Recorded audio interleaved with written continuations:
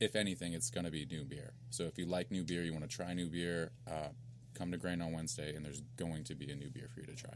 Oh, that's cool. Absolutely. It's a good opportunity to feature one-offs, exclusive releases, um, launch parties. You know, if a new beer's coming out for the first time or for the season, um, a lot of the times I ask that they, they, they bring it up and we, we release it maybe a little bit early or, or that day and, and celebrate. Oh, that's awesome. Absolutely. So I want to start. I want to go. I want to touch on where you started from. Um, getting the job. Um, so before you became uh, Cicerone, Yeah. uh, you were the restaurant manager. Yeah. Supervisor. Okay, restaurant supervisor. Um, and like, what got you into like the industry? Well, I've been I've been in the industry since I was 16. Oh, wow. Uh, yeah, I've been. There we Lifer. go. Here we go. Yeah, seat at this table. That's it. I feel like it's like the, all of us. Yeah, it's Yeah, perfect. I've done it all, man. I've, I've been a waiter, line cook, bartender, busboy, dishwasher, Yeah. manager. Yeah. Yeah, I've done it all. So um, I started with Gold Key at the oceanfront at the Ocean Beach Club, Okay. and then um, there was an opportunity here, uh, or here at Grain is what I mean. Um, and uh, do you remember Adriana? Yeah. Yeah, she Yeah. was she was the manager there, and one of her really good friends, Grant, was my manager at the Ocean Beach Club. Okay. So when I interviewed with Adriana, I kind of had an in, you know, as a, with a mutual friend. Right, So yeah. uh, she gave me a shot as a supervisor up there, and then that's how I started at Grain, is really as a supervisor. Um, Stefan Stockwell was our first Cicerone. Um, he's been in the industry a long time. He's a rock star. Um, he really knows his stuff. Um, he started the program, and there there was uh, just kind of some turmoil, you know, with with people coming in and out of the position. So for a while there, my uh, my general manager Ryan was sort of taking the role on himself, and uh, him and I work really close together, and so. Uh, Anything that he did, I, I tried to assist on, and, and beer buying and doing the beer menu was, was a big part of that. So for a few months there, um, kind of people were coming in and out of the position. No, nobody was really solid, mm-hmm. and so uh, you know I thought, man, maybe uh, maybe I could do it. Mm-hmm. So uh, I started studying and uh, took the test for the certified beer server, the level one uh, Cicerone certification. So after I took that, it kind of showed it showed I had initiative and drive to want to learn learn more about it. And as I worked closer with my boss, I sort of started to see things, and him and I started talking, bouncing ideas off of each other. And he finally got to a point where he felt like you know he could trust me with the program. Um, and so, having passed down the program onto me, I sort of picked it up and have been going my own direction with it. Oh, nice. That's awesome. Absolutely, That's cool. That's so cool, like yeah. uh, creative freedom to kind of craft and you know mold that that that program Yeah. into into your own personal thing. Yeah. it's like your your own footprint. Yeah. Right. I think um, I think we all kind of do that. You know, when we go to uh, the different places and bars and restaurants that we work Yeah. in, there's like there there's a, a bit of responsibility that's bestowed on us as bartenders or servers or managers. You know, leads. You know, um, with setting up like standards and setting up programs um, that help. You know.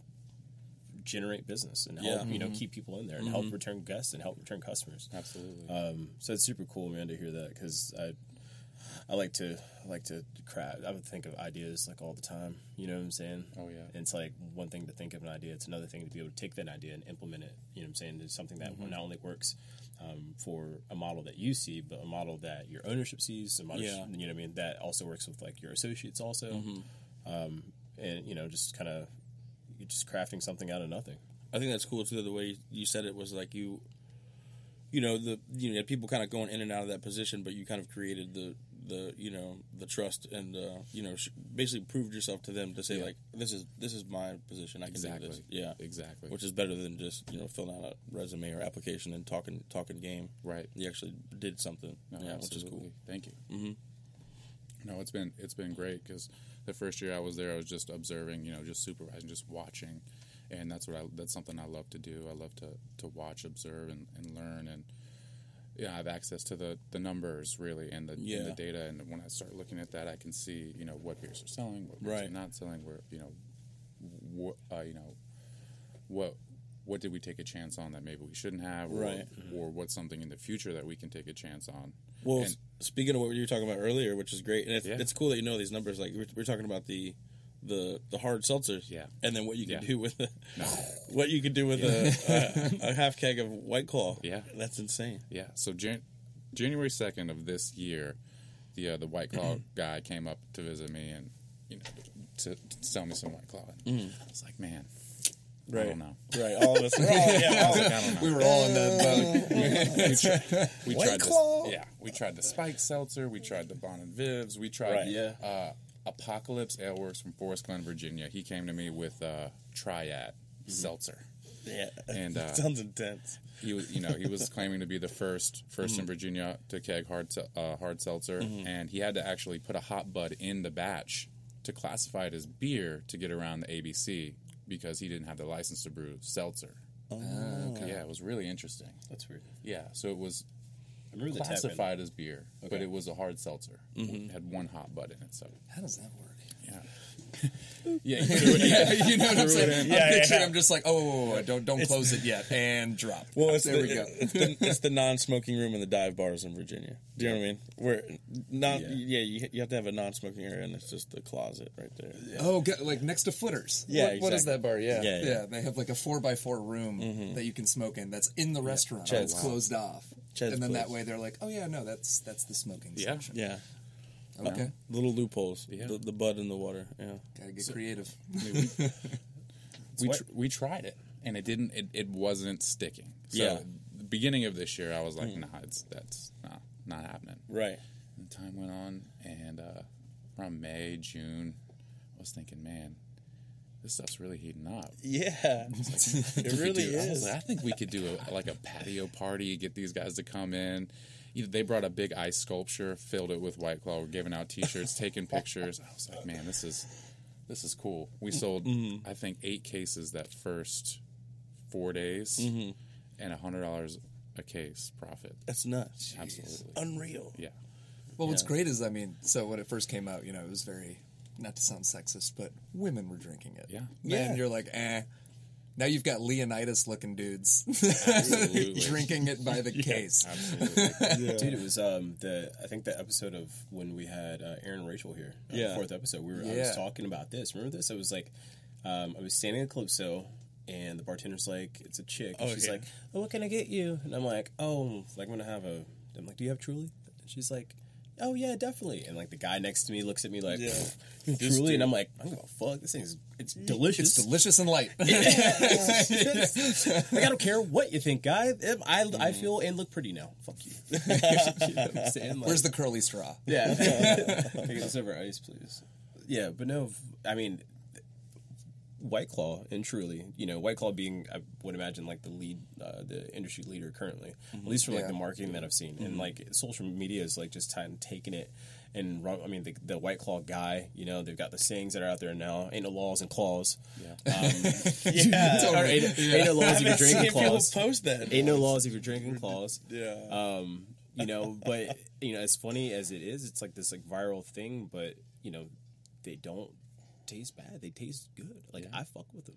Yeah. You know, for Fourth of July, I, I was talking um, recently to the White Claw guy. and they like outsold Bud Light on the Fourth of July What- That's wild. But I in the believe United that. in the United States. They outsold Bud Light in on the Fourth of July. White Claw. Wow. I'm not fucking with you. Seriously? One hundred percent. That's wild.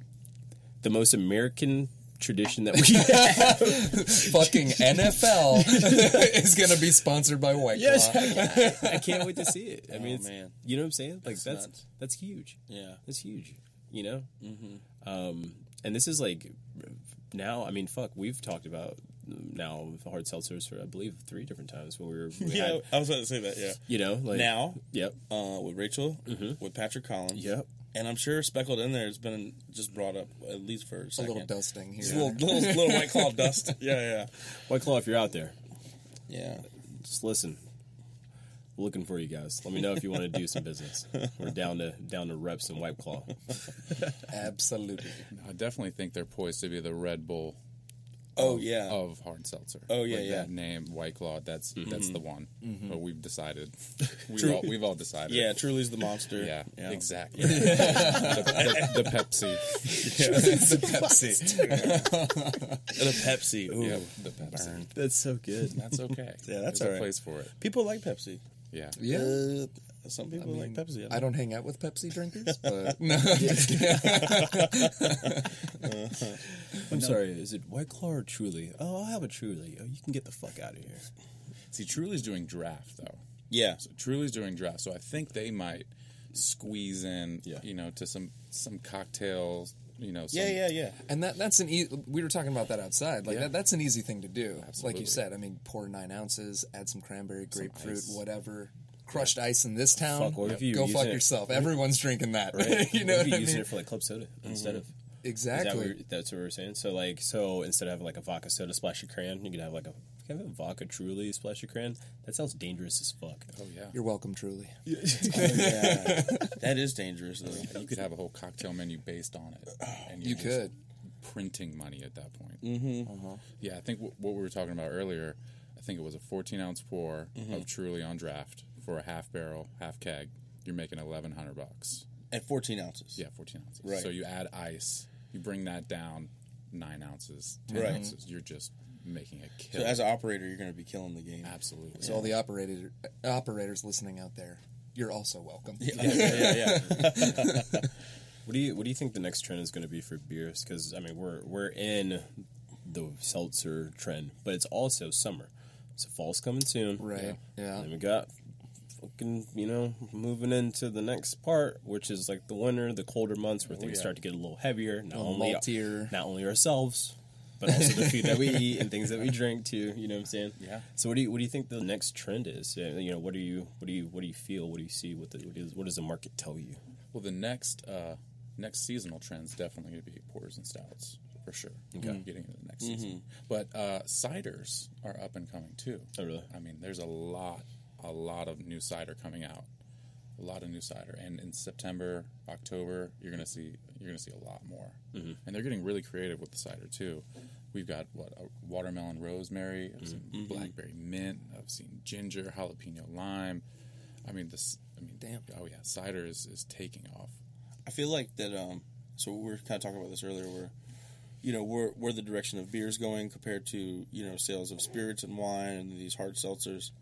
Um, with the millennials now drinking, they're going for that like sweet, like so they're going for like the ciders Yeah, and then and then the gluten-free. gluten free, Yep. and then like the the canned or the canned uh, cocktail essentially. Yeah. Yeah, this is like the they're they're stepping away from like what you know what I'm used to with the with the beer, whether it be craft beer, import beers, Belgians, and they're going into like yeah, like the healthier and sweeter side of Yeah, the more more like. fun, really. I think. Yeah, yeah. I think we're not really that, that people people making this stuff, brewers, distillers, all these guys have pushed the envelope so far now that Mm-hmm. we're not we don't have to settle for nasty stuff or bitter stuff, or, Right. Or bland, or now we have options. We can Yeah. Mm-hmm. try something new and exciting. We can try a marshmallow IPA if we want, or a, Yeah, you know, a right. Mm-hmm. Sunday smoothie, you know, IPA, what, whatever it is, s'mores, a s'mores stout, or there's just so many options now that we don't have to settle for, Yeah. you know, the old stuff. right. Yeah.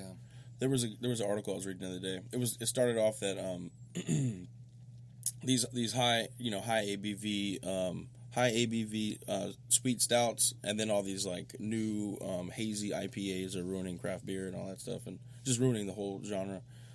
So there was a couple. There's a couple like yeah critics basically, Yeah. but the guy starts off that way, and then he, and then I'm like, oh okay, I see what he's doing here. So he was agreeing, but at the end, like once he gets halfway through, he's like, those people that wrote those articles is all bullshit. Yeah, it's Yeah. like y'all are just in, stuck in this old world. You know what I mean? And you want everything to taste exactly the way it's supposed to taste, and like everything to be exactly how it was supposed to be. But that's not what we're doing. We're we're we're being creative and we're moving forward.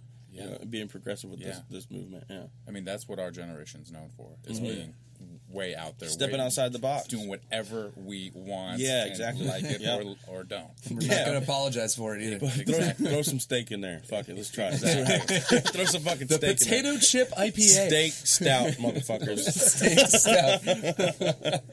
How you want it? Medium rare? Got it. Di- different temperatures for the beer. Twelve percent. Throw some sprinkles on it. Boom. No, that's. All, I mean, but that, that's the truth though. It's like you look at these, you know, these older beers like Franziskaner and stuff like that, which Oh, is cool. They're, you know, they're traditional and stuff like that, but eventually, it's not gonna. That market's gonna go away. Yeah. That market is disappearing. W- They're getting older, and you know, They're just get, they're starting to It's just, fading. yeah exactly they fading. start to fade away Yeah.